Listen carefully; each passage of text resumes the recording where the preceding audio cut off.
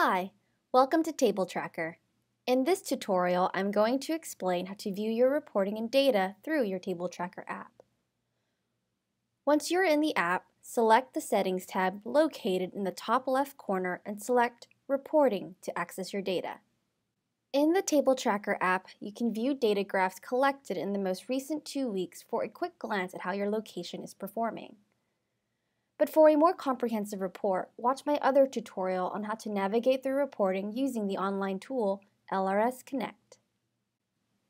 In Table Tracker, you have the ability to view all of your data in five different report types. The default report will be average delivery time by date range. On the right, you can filter the data by date range.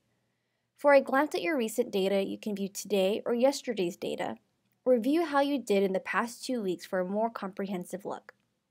All the data is presented in graphs to show how your location is performing. To view other reports, simply tap the report type on the drop-down menu and select the report you would like to view. In addition to the average delivery by date range report, you can also view delivery time by weekday, delivery time by time of day, percentage of goal met by day, and table usage. The delivery time by weekday report will show you the average time of food deliveries by day. You can also view the average for the last week or last two weeks under the date range.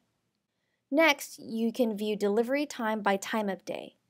This is a great way to get a sense of how your restaurant is doing during those busy hours. Managers can use this information to pinpoint problem areas and determine if they need to staff up or down during any shifts. The next report you can view is the percentage goal met by day.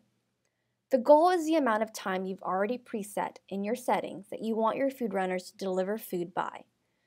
For example, in a fast casual restaurant, your goal may be to serve food to customers in under 7 minutes.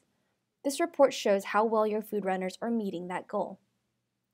Table usage is the last report. This report shows you how often your guests are using your tables. You can track the number of times customers are seated at each table and the percentage of use for your selected date range. This can give you a clearer picture of which tables are more popular compared to others.